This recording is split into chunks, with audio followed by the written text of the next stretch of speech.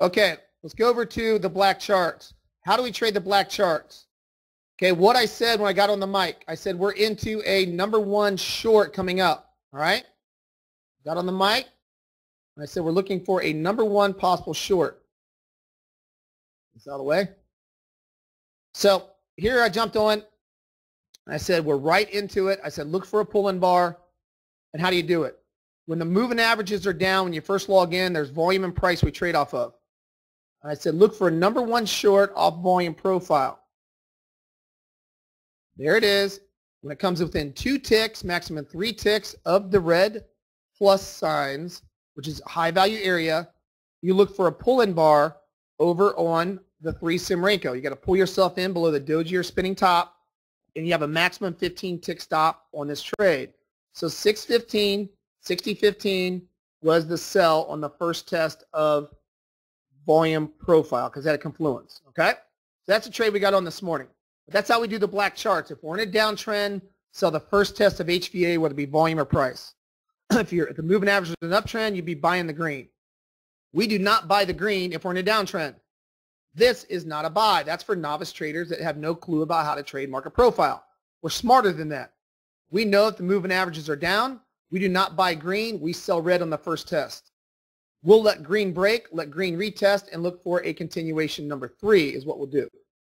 All right? So that's profile. We got profile worked out great. The number one worked out great for us this morning. To go to bottom right under documents, um, you can see over here on the bottom left, we got volume was right there and price profile was right up at 73.80. If we would have got up there within two ticks with the pulling bar, we would have took that one if it would have blew through our volume without it pulling us in. But it pulled us in, so that's why the market responded. I always get the question, which one should I take, volume or price? Whichever one comes first with the pulling bar off the three sim. All right, doesn't matter. If they're within 10 ticks of each other, take the one that is the outer edge. If these are within 10 ticks, obviously 60, 60 15 is not within 10 ticks of 60 73.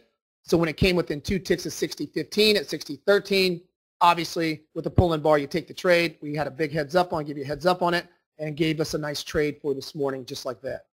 All right, then let's go about uh, JaySignal real quick. JaySignal. Our best JaySignal trade, so there's a number one that called the high with the pulling bar. JaySignals, let me say something to you right now. JaySignal will always be opposite on number one trade. See how you had a trend change to the upside on JaySignal? J signal is going to be opposite because number one trades on the black charts are deep retracements. JaySignal is designed to give you number three trades, which is a break of profile retest on the first retest for continuations. That's the difference between number three and number one.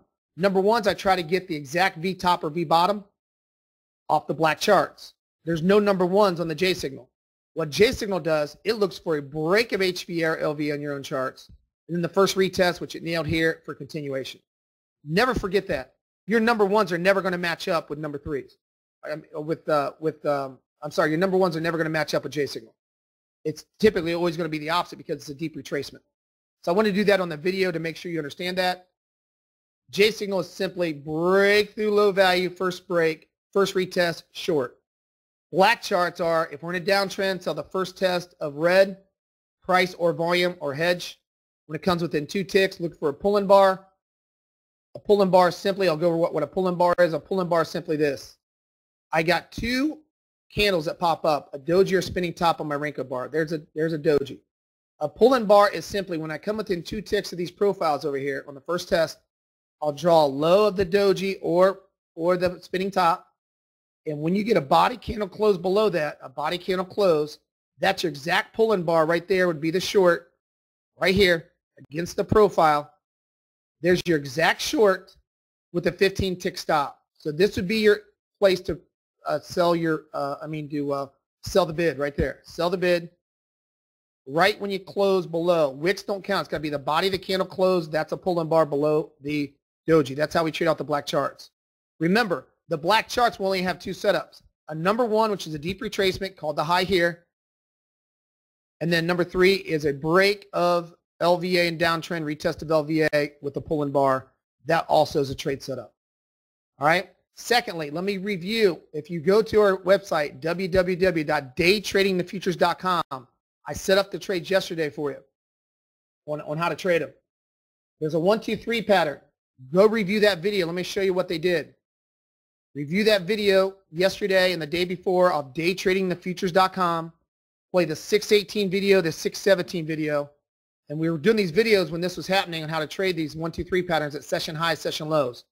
Well, let me show you what the first one did yesterday. The first one was a $1,000 trade. I said my target on the video right here. When I was doing the video, I mentioned it here, I said the target was all the way down to 13, nailed the low. I'll show you how I did it, play the video back. I want to show you what happened afterwards, all the way down. Day before, we had a one, two, three pattern. I did a video right here when this was happening.